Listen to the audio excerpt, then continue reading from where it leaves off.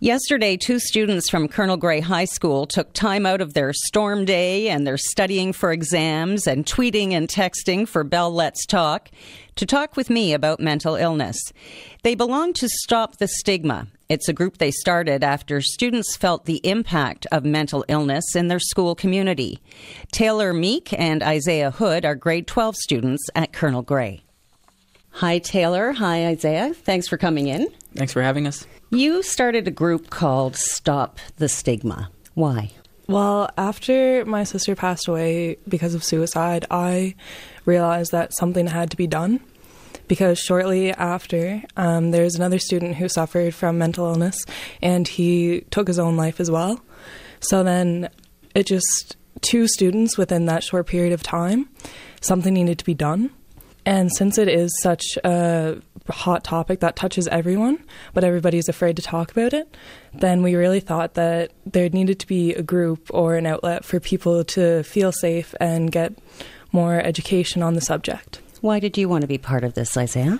I was asked to be a part of it, and I really felt like, obviously, you know, stuff like that happening, you'd really need to raise awareness, show people that they're not alone and it's okay to talk to people, and hopefully that seeing us do it, you know, other schools will start groups just like us and everyone will know that someone's there to talk to if they need it. Nowadays, if a kid at your school was feeling like something wasn't right, maybe they didn't know they had depression or anxiety, but they had some symptoms, what outlets do they have? Where can they go to get help? Well, with our group, we work with Kids Help Phone.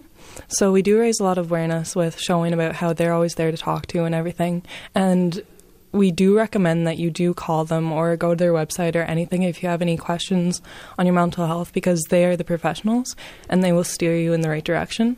Whereas we are just here to make you feel comfortable enough to talk about it and we're not trained guidance counselors and we don't have the tools to make your situation even better, but we can make you feel more comfortable about it and give you people to talk to or names or numbers or people who can help you. Mm-hmm. Taylor, when your sister died, were there students that I'm sure embraced you and gave you support and love, but were there students that kind of looked at you like you were somehow different? Um, well, I have a pretty strong based friend group, so they were really supportive. But there were some people who just didn't see me in the same way because they didn't see any signs of it affecting me, and they wouldn't expect that of my sister. Because my sister and I were like three years apart, so we never were in the same school. And some people didn't even know that she was my sister. But there were some people who came out to me and like let myself know that they had situations the same and that it was okay for me to talk to them but they wouldn't normally talk about that if it was somebody who didn't suffer from the same situation yes because i think that good things can come out of a tragedy like what happened in your family. And I know that your father is busy organizing events and providing support as well. Not every family can do that, but it is great for the community. The statistic is, I think, going to become one in four Canadians has a mental illness or will have some form of mental illness in their lifetime. Do you, now that you know more about it, do you believe that? I strongly believe it because there are certain, there are minor cases, there are more severe cases, but it will eventually touch a majority of people because there are so many different varieties of mental illness. Mm-hmm. And it could be something from anxiety to depression to bipolar disorder. And it's just education is really important because you need to know what's going on with your mind. Mm-hmm. Just because it's important to take care of your health as well as your physical health as your mental health. I imagine too sometimes students would need to have a chat with someone because it may be happening with a family member or their parents, something like that. Have you come across that at all? Yeah, there are many cases of that because the statistic touches a lot of people. Then there are support groups actually for people who are suffering from mental illness, like their family members are suffering, because it is a chemical imbalance. They have to be as educated as the person who is ill. Yeah, because they need to know that they're not intentionally pushing the person away or intentionally making them feel excluded or anything like that. It's just it's the illness and it's the chemical imbalance. Your age group can be a pretty tough one. There's a lot of peer pressure. There are cliques, and that is overwhelming to deal with. I know it was when I was a teenager 100 years ago.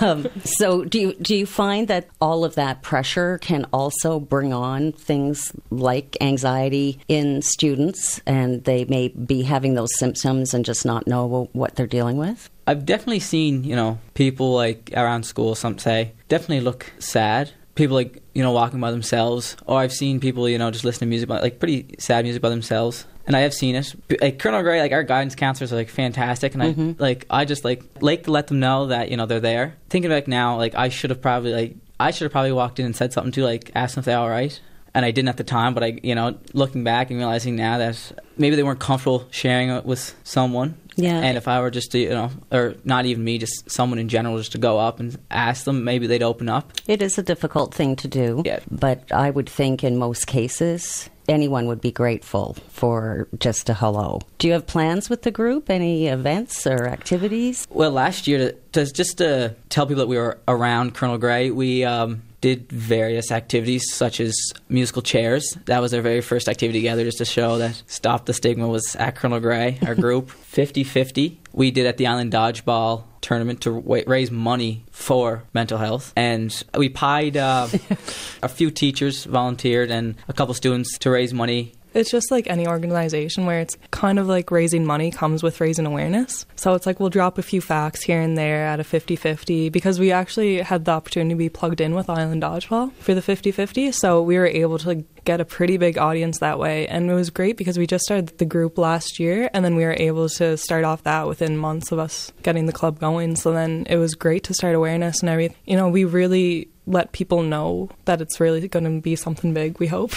like now it's becoming a part of the grade 10 gym curriculum because it does have to do with health and wellness. Then mental health is equally as important as your physical health. Just because somebody has a broken arm and everybody can see it, it still hurts, but just because it's going on in your head and it still hurts, but people can't see it, then there's kind of like that disconnect there. But it is equally as important to educate yourself on to learn what's going on with your body. It must be important for you, Taylor, to remember Shalise in this way, to do this for others. Oh, it totally is because the way that my family looked at it is it was shortly after and of course it's like whenever your family goes through something like that you can either separate or you can come together and it's all about how you channel your energy from that and we with my parents, we decided to do something positive. And my parents have always been involved with Bell Let's Talk because they're both employees. But whenever it affects you and there's a face to it, then it just kind of changes your perspective on it. So we all really decided that it is a great foundation and it's just something that people need to be educated on because after it goes through you,